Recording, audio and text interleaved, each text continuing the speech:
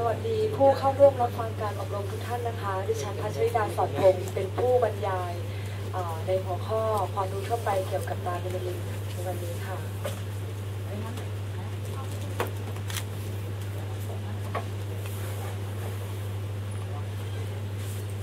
ก่อนอื่นนะคะ เรามาทำความรู้จักกับปลาแมนดารินก่อนนะคะว่ามีที่มาที่ไปยังไงค่ะ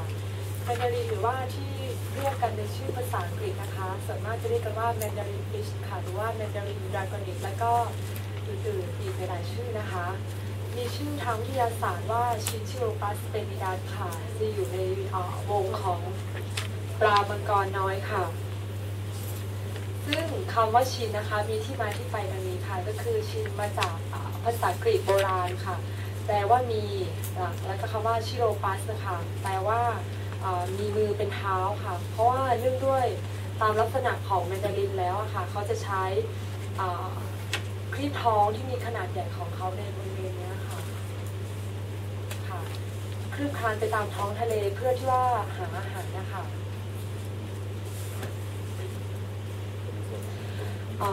ลักษณะโดยทั่วไปของปลาแมนดารินนะคะ คือเขาจะโดดเด่นด้วยรูปร่างของเขาแล้วก็สีสันค่ะ โดยลำตัวของปลาแมนดารินจะมีสีสันที่สวยงามทาบทับกันหลาย ๆ เส้นเกิดเป็นลายเหมือนกับลายผ้าไหมของขุนนางจีนโบราณนะคะ เขาจะเปรียบเทียบแบบนั้น เพราะว่าด้วยลักษณะของเขาที่มีผิวที่เรียบลื่นนะคะ แล้วก็ดวงตาที่มีขนาดโตเนี่ยค่ะ เขาจะใช้ประโยชน์ในต่อเมื่อเวลาที่แบบว่าหาอาหารในที่ที่มีแสงน้อยอะค่ะ ส่วนปากตรงนี้นะคะ ตรงจังไรปากตรงนี้ที่เราเห็นเป็นเล็กๆอะค่ะ คือเขาจะมีข้อจำกัดในเรื่องของการกินอาหาร เพราะว่าเขาจะกินอาหาร ได้นี่คือต้องเป็นอาหารที่มีขนาดเล็ก เพราะฉะนั้นเอ่อเขาถึงจะกินกินอาหารบ่อยก็คือจะกินตลอดเวลาแต่จะกินได้ในปริมาณที่น้อยๆค่ะแต่คือจะกินทั้งวันค่ะ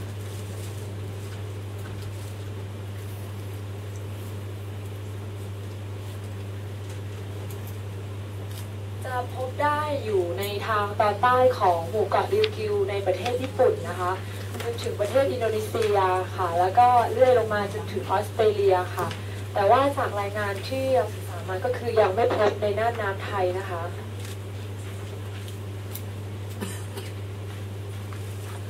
ปลาแมนดรินมีทั้งหมดกี่ชนิดใช่ไหมคะ จากที่ว่ามีรายงาน จะมีทั้งหมด 43 ชนิดค่ะ คือ 43 ชนิดนี่คือที่คนพบทั้งหมดทั่วโลกนะคะ แต่ว่า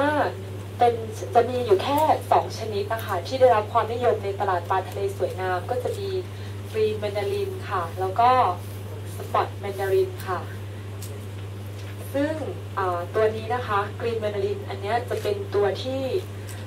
ทางสถาบันของเราอะวิจัยอยู่ก็คือทำวิจัยอยู่ก็คือจะเป็นตัวนี้ค่ะเป็นหลัก แต่ถามว่าแมนดารินจุดเราเพาะเลี้ยงได้ไหมเราก็เพาะเลี้ยงได้ค่ะ แต่ว่าเราไม่ได้เน้นในตัวนั้น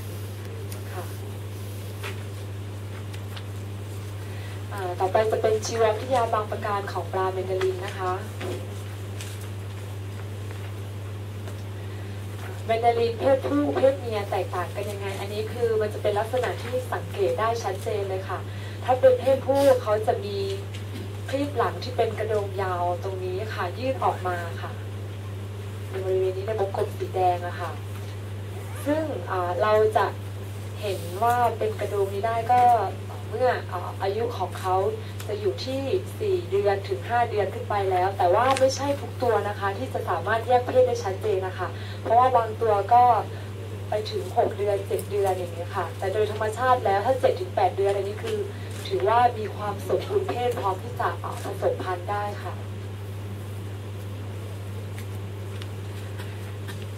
ถ้าเป็นแมนดารินเพศเมียนะคะ เขาจะมีครีบหลังเหมือนกัน แต่ว่าจะไม่มีกระโดงยาวๆออกมาเหมือนเหมือนเพศผู้อะค่ะ จะเป็นในลักษณะโค้งมนแบบนี้ค่ะค่ะ คือมันจะมันจะมีจุดที่มันสังเกตเห็นได้ชัดเจนอยู่ค่ะ เพราะตัวผู้มันจะเป็นเหมือนเป็นเหมือนไอเรือใบขึ้นนะคะ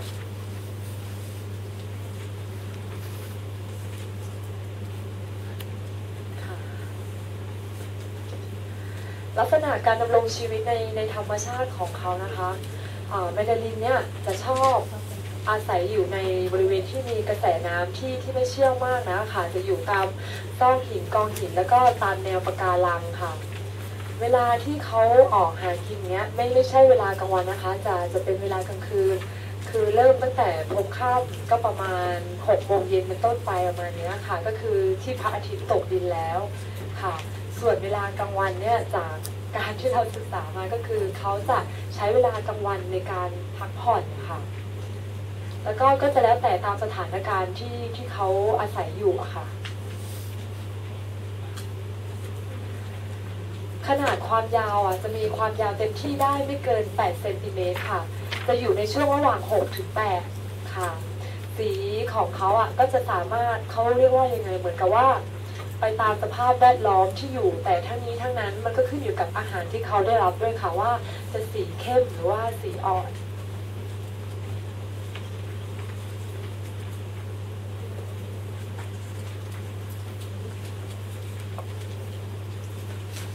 พฤติกรรมการกินอาหารของปลาเบนนาลินนะคะ ก่อนอื่นขออธิบายแบบนี้ก่อนคือว่าเรื่องด้วยขอขอกลับมาที่รูปนี้ก่อนนะคะ จะได้มองภาพออก ตรงตรงบริเวณเนี้ยค่ะ ตรงเป็นรอยปากของเขาอะค่ะ คือมันจะเป็นช่วงสั้นๆ แล้วทีเนี้ยเวลาที่เขากินอาหารนะคะเขาจะแบบค่อยๆคุกไปเร็วๆแบบเนี้ยค่ะ ถ้าเกิดสมมติว่าเอ่อเป็นสิ่งที่มันแปลกปลอมเข้าไปในปากใช่ไหมคะ ก็คือนั่นนะคือเขาจะใช้วิธีการพ่นออกมา แล้วก็จะกินแต่เฉพาะอาหารที่ผมเข้าไปมันจะเป็นช่วงระยะเวลาสั้นๆค่ะ เพราะว่าเขาจะค่อยๆใช้เอ่อบริเวณคลีบท้องของเขาอะค่ะ ค่อยๆคลืบคลานไปเรื่อยๆตามพื้นทราย แล้วพอไปเจออาหารอย่างเงี้ยก็จะแบบปุ๊บเร็วๆแบบนี้ค่ะแบบอย่างเงี้ยจะเป็นในลักษณะแบบนี้ ก็ถ้าเปรียบเทียบได้ก็เหมือนกับประมาณเครื่องดูดฝุ่นนะคะคือดูดเร็วแล้วก็แบบปุ๊บปุ๊บกลับแล้วก็จะหาอาหารอันนี้คือจะหาอาหารตามลำพังนะคะ จากที่มีการสังเกตพฤติกรรมก็คือ จะไม่รวมกันเป็นฝูงเพราะว่า อย่างอย่างเราที่เราเลี้ยงอยู่อย่างเงี้ย คือเราจะเลี้ยงตัวผู้หนึ่งแล้วก็ตัวเมียสามคือให้อยู่กันแบบเป็นเป็นกลุ่มเป็นเหมือนคล้ายๆฮาเลมอะค่ะ คือให้เลือกสรรในการจับคู่ได้ เพราะว่าโดยธรรมชาติของเขาแล้วอะคือเขาจะจะอยู่เป็นกลุ่มแบบนี้ เพียงแต่ว่าเวลาหาอาหารนะคะคือเขาจะแยกย้ายกันหาอาหารก็คือต่างฝ่ายต่างหาต่อให้ว่าตัวผู้กับตัวเมียมาแบบมาเจออาหารในในบริเวณเดียวกันนะคะก็จะไม่มีการแย่งชิงค่ะ ก็คือตัวเมียจะปล่อยให้ตัวผู้แบบ ก็คือหาไปเลยตามธรรมชาติของเขาแล้วเขาเองอะก็ก็จะหยุดดูแล้วก็ค่อยๆว่ายน้ำต่อไปอะค่ะก็ก็จะไม่ยุ่งเกี่ยวกันอ่าทางด้านพฤติกรรมของการสืบพันธุ์นะคะ ก่อนอื่นเขออธิบายอย่างนี้ก่อนว่า อันนี้จะเป็นแผนผังให้ดูคร่าวๆค่ะว่าเขาก็จะมีการว่ายน้ำเข้าไปใกล้ตัวเมียค่ะ เดี๋ยวขออธิบายเป็นรูปประกอบเลยแล้วกันนะคะ อ่าเนี่ยค่ะจะได้มองเห็นภาพได้ชัดเจนเริ่มแรกเลยก่อนที่จะมีการผสมพันธุ์มันจะเกิดการเกี่ยวพาราสีก่อนนะคะในในนี้ก็คือสมมติว่าก็คือตัวผู้อะค่ะจะว่ายน้ำเข้าไปใกล้ตัวเมียในในลักษณะในแนวโน้มแบบนี้ค่ะ แล้วก็จะว่ายวนไปรอบๆประมาณ3ถึง4รอบประมาณนี้นะคะ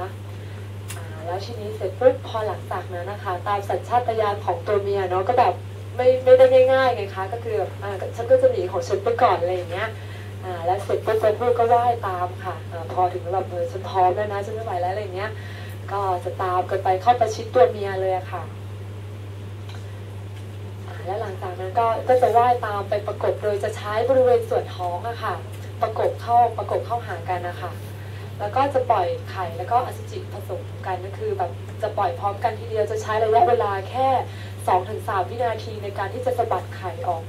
ขึ้นมาค่ะ แล้วก็จะว่ายขึ้นในแนวดิ่งพร้อมกันค่ะ ในในในลักษณะแบบแบบแบบนี้ค่ะ ก็คือจะอย่างเงี้ยแล้วก็จะสะบัดพร้อมกันไปเลยทีเดียวค่ะ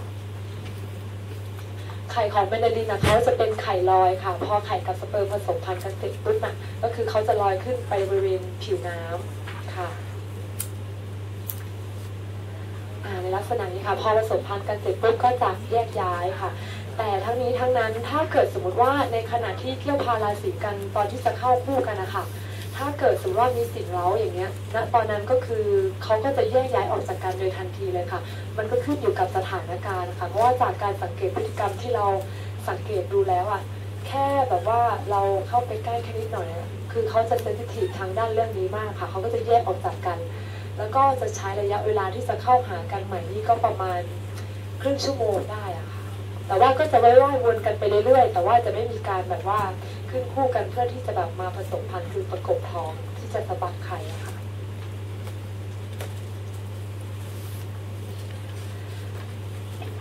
การวางไข่ของปลาเบนลินนะคะ จะสามารถวางไข่ได้ตลอดทั้งปีค่ะ ก็คือจะออกไข่ได้หลายครั้งติดต่อกัน แต่ว่า ไม่ใช่ว่าเอ่อตลอดทั้งปีจำนวนไข่ที่ออกมานี้คือจะได้ในปริมาณที่มากๆ เท่าๆกันในทุกๆ ครั้งนะคะ มันจะมีช่วงที่เขาสามารถวางไข่ได้สูงสุด แล้วก็จะมีช่วงที่ดรอปลงอยู่ช่วงหนึ่งในในระหว่างปีอะค่ะอุณหภูมิที่ดีที่สุดที่เหมาะสำหรับการที่จะวางไข่ก็จะอยู่ที่ 24-29 องศาค่ะ แล้วหลังจากนั้นคือภายหลังที่ปฏิสนธิแล้วอะ ก็คือ 12 ชั่วโมงก็คือบวกลบไม่เกินนี้ค่ะ ก็จะอยู่ที่ประมาณ 14 ชั่วโมง ตัวอ่อนนะก็จะฟักออกมาเป็นตัวค่ะเนี่ยค่ะ ลักษณะไข่ของเขาจะเป็นแบบนี้ค่ะ อันนี้คือไข่ที่รับการปฏิสนธิจะเป็นแบบนี้นะคะ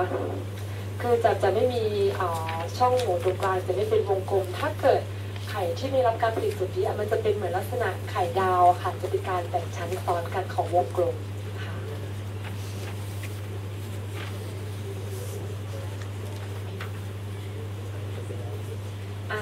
ค่ะอ่าเนี่ยค่ะลูกปลาจะใช้เวลาในการฟักไข่ก็คือไม่เกิน 14 ชั่วโมงจะฟักออกมาเป็นตัวแบบเนี้ยค่ะ ในภาพขวามือเนี่ยค่ะ แล้วก็จะมีโยก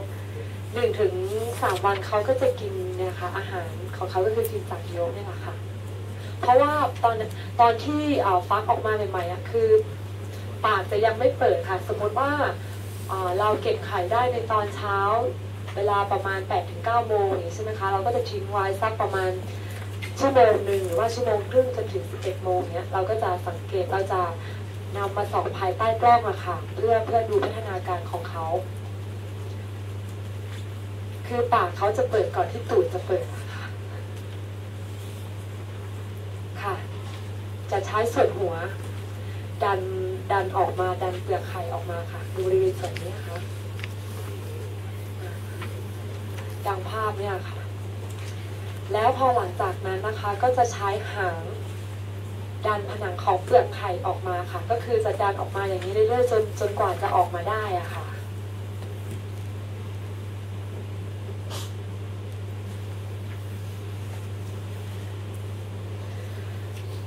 ปลาเบนดาลินนะคะจะแบ่งออกเป็นทั้งหมด 8 ระยะค่ะ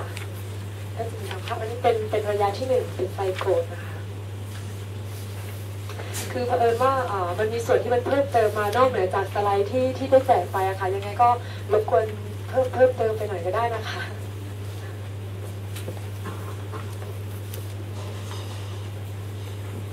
อันนี้จะเป็นพัฒนาการไข่ของระยะที่สองอะค่ะ จะมีการแบ่งตัวของนิวเคลียสอะค่ะในวงกลมสีแดงนี้นะคะ อันนี้เป็นระยะแรกเริ่มสเตจแรกเลยอะค่ะ ก็จะพัฒนาเรื่อยๆค่ะ จะมาเป็นเหมือนในในลักษณะที่เหมือนกับแบบเป็นรูปน้อยหนาอะค่ะ อันนี้คือแบ่งแบ่งครบแล้วเป็นคนใช่ค่ะ แล้วก็เป็นอันนี้อพอสมบูรณ์แบบนี้เสร็จปุ๊บเขาจะมีการเขาเรียกว่าเหมือนไข่ของเขาเองเขาจะเขาจะหมุนนะคะ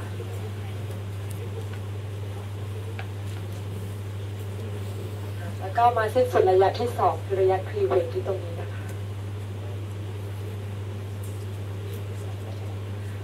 นะคะอันนี้เป็นระยะที่สามค่ะ เป็นบาสตูล่าค่ะ พอมาถึงระยะที่สี่ใช่ไหมคะ จะเริ่มอ่าเป็นรูปร่างของตัวปลาสังเกตเห็นได้อย่างชัดเจนเลยค่ะมันจะมีบริเวณตรงนี้ค่ะ เป็นหางของเขาที่จะดันผนังของเปลือกไข่ออกมานะคะ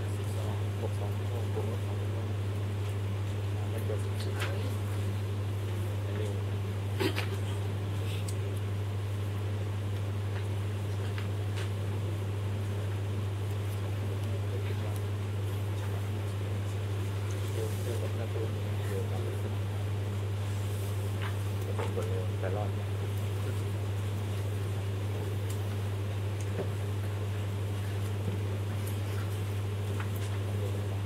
ยอดเราที่มันเข้าไป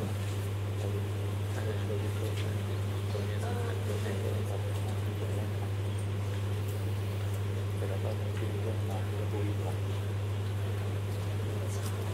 รูปมันใช่ก็เกิดมาเยอะเยอะความรู้สึกก่อน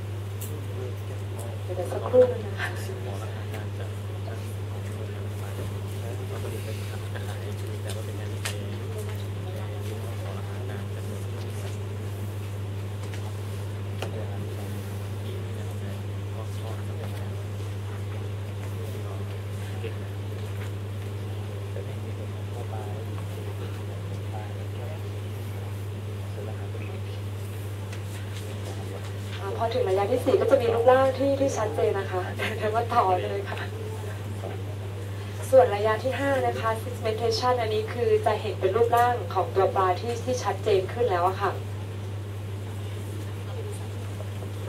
พอระยะที่ 6เขาจะเริ่มมีการหมุนหมุนตัวของเขาเองอะค่ะ ก็คือจะเหยียดออกมาเป็นในแนวตรงอะค่ะ ระหว่างหัวกับหางก็คือจะจะนี่ชัดเจนกันขึ้น จะไม่ได้แบบหมุนเป็นวงกลมแล้ว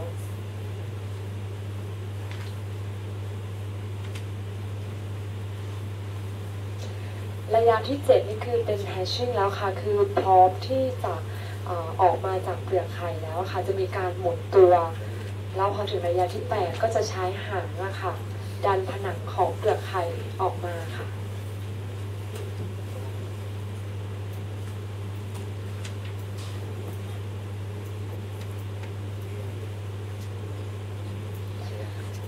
าการของปลาเบนเดลินนะคะ คือเริ่มจากที่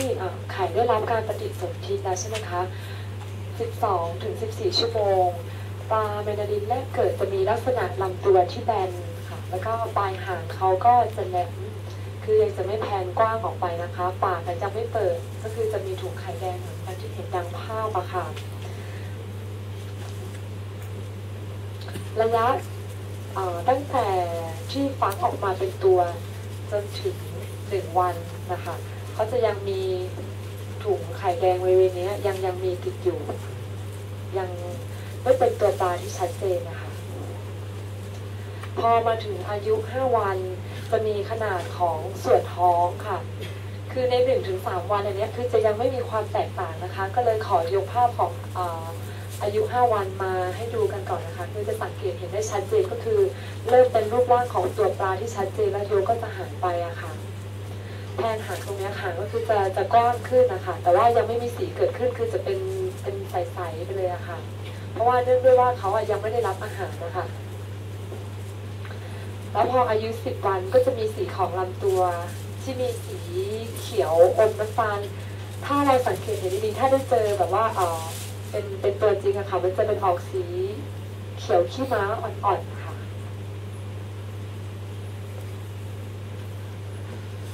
พออายุ 15 วันนะคะ จะมีการเปลี่ยนแปลงที่ชัดเจนก็คือจะมีการเปลี่ยนแปลงเกิดขึ้นตรงบริเวณข้อป้องตรงเนี้ยค่ะที่ต่อจากส่วนหัวตรงเนี้ยค่ะจะเริ่มเห็นเป็นเป็นลายเส้นๆตรงเนี้ยขึ้นมาเห็นได้ชัดเจนค่ะ แล้วพออายุ 20 วันนะคะ จะเริ่มมีลายเกิดขึ้น จะมีการเปลี่ยนแปลงในบริเวณส่วนหัวค่ะ จะมีลายเกิดขึ้นนิดหน่อยเป็นรอยหยักในบริเวณนี้ค่ะ แล้วก็จะเลื่อนลงมาจนถึงบริเวณกลางลำตัว แต่ว่ายังจะจะจะขึ้นลายไม่ครบนะคะ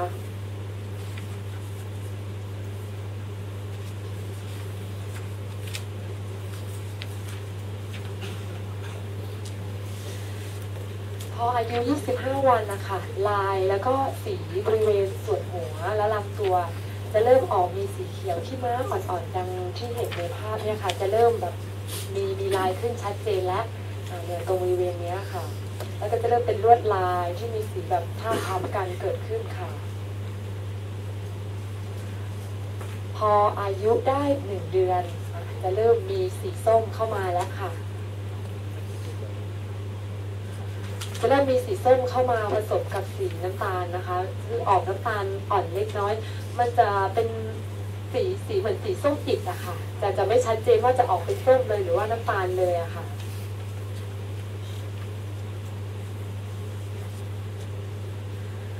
อ่าอันนี้คืออายุ 3-4 เดือนค่ะแต่มีลักษณะสีแล้วก็รูปร่าง อันนี้คือคล้ายคลึงกับพ่อแม่พันธุ์แล้วอะค่ะ คือจะมีเส้นของลวดลายสีที่ท่าบทับกันเป็นลวดลายเกิดขึ้นที่แบบสวยงามแผนหางทุกอย่างคือขึ้นครบพร้อมหมด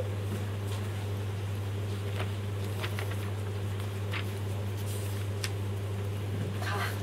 ขอบคุณสำหรับการรับฟังค่ะ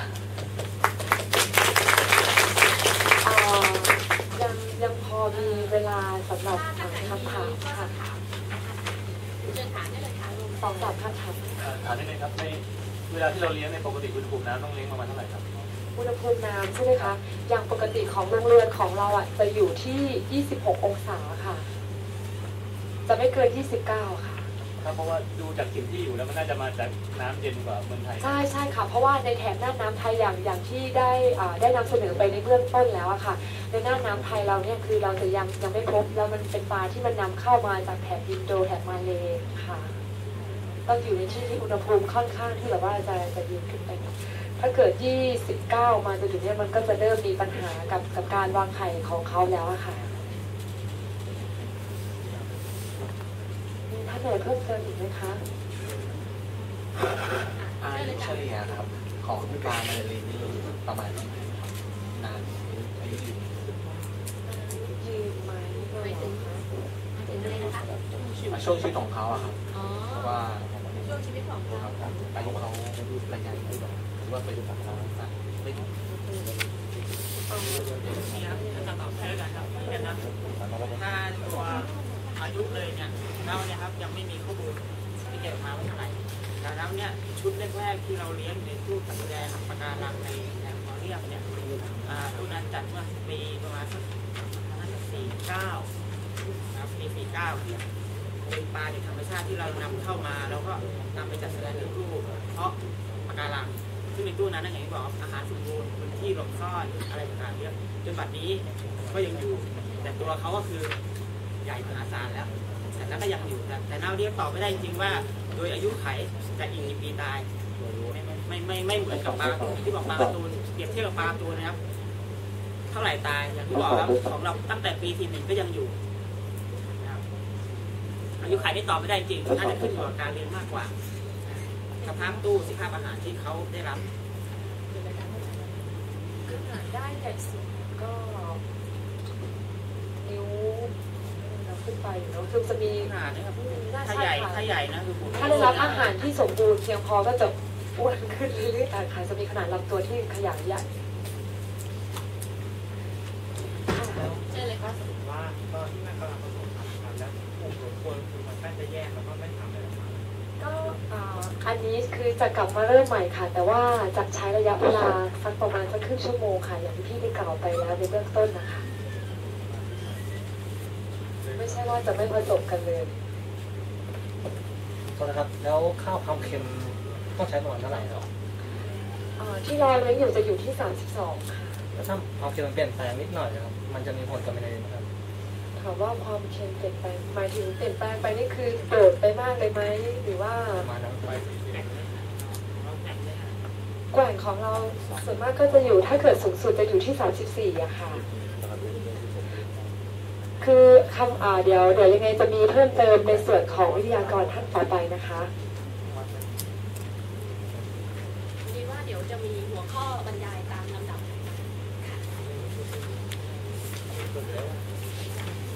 รบกวนเอ่อแล้วก็วิทยากรช่วยดู เดี๋ยวสไลด์นะครับรวมถึงตัว powerpoint นะครับจะมีขึ้นในเว็บไซต์แล้วก็ Facebook สถาบันนะครับ ยังไงก็ไปดาวน์โหลดไปดาวน์โหลดได้ที่นั่นแล้วก็บันทึกการอบรมนะครับ ตลอดช่วงนะครับ ก็จะถูกขึ้นที่นั่นเหมือนกันท่านน่าจะทราบเฟซบุ๊กสถาบันใช่ไหมครับ มีใครไม่ทราบไหมครับ ชื่อเฟซบุ๊กนะครับ BIMS Thailand นะครับ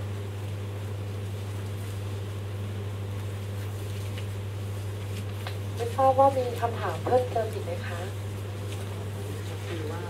ถ้าสมมติว่าเรามีตัวผู้อยู่แล้วแล้วมันนำตัวเมียลงไปตัวผู้เป็นเจ้าถิ่นตัวผู้อยู่แล้วการนำตัวเมียไปใส่คือมันเป็นสายที่จะไล่ทับความรุนแรงอ๋อคืออย่างข่าววิธีการที่ที่เราทำอยู่ใช่ไหมคะตอนแรกที่เรานำเข้าปลามาใหม่ๆใช่ไหมคะสมมติว่าเรามีตัวผู้อยู่แล้ว แล้วเรานำตัวเมียมา ของเราคือจะนำเขาอะมาอยู่ในที่ที่บริเวณที่แคบแล้วก็มืดคือเหมือนกับประมาณว่าให้เขาทำความคุ้นเคยกันก่อนะค่ะแทนที่ว่าเราซื้อมาแล้วเราจะไปปล่อยลงในตู้เลยอะค่ะ จะให้มันอยู่ในบริเวณพื้นที่ที่แคบก่อน ก็เหมือนกับให้ทำความรู้จักกันก่อนเลยอย่างเงี้ยค่ะอ่าก็จะสังเกตประมาณ 1-2 ชั่วโมงค่ะ ถ้าอ่าเรากลับไปดูอีกทีหนึ่งอย่างถ้าเกิดสมมติว่า คือมันจะสังเกตได้ง่าย ถ้าเกิดปลาเมนาลินถ้าเกิดเขาเครียดใช่ไหมคะเขาจะมีการปล่อยเมือกออกมาค่ะ ก็คือเมือกอันนั้นน่ะมันจะเป็นพิษ คือถามว่าในท้องทะเลอะเขาอะก็ถือว่าเป็นเป็นปลาเหยื่อที่ที่มีขนาดเล็ก แต่ส่วนมากอะคนที่เป็นผู้ล่าคือพอกินเข้าไปเหมือนมุดเข้าไปเขาเข้าไปแล้วเนี้ยค่ะเขาจะคายออกทันทีเพราะว่าเมือกของเขาอะมันจะเป็นพิษกับกับปลาที่กัน ใช่ค่ะอันนั้นถ้าเกิดสมมติว่ามีเมือกเกิดขึ้นมาเยอะๆใช่ไหมคะอันนั้นแสดงว่าก็คือเกิดความเครียดแล้วก็มีการแบบว่าก็คือไล่ไล่กัดกันแน่นอนแล้วแหละ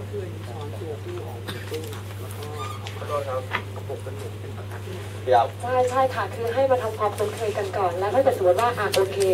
เรามาสังเกตดูแล้วเราเห็นว่าเอ่อพฤติกรรมที่ออกมา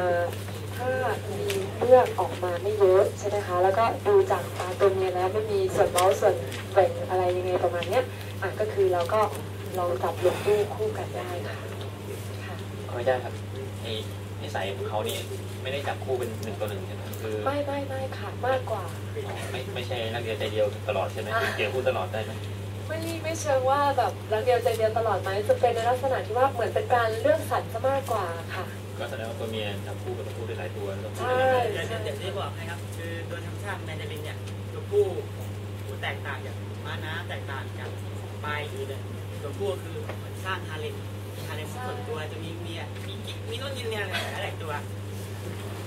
แต่แต่จะอัตราส่วนเท่าไหร่ที่เหมาะสมเท่านั้นเองที่ที่เราเอ่อที่เราศึกษาอยู่ก็คือเราจะเป็นหนึ่ง ต่อสองหรือหนึ่งต่อสามประมาณเนี้ยค่ะ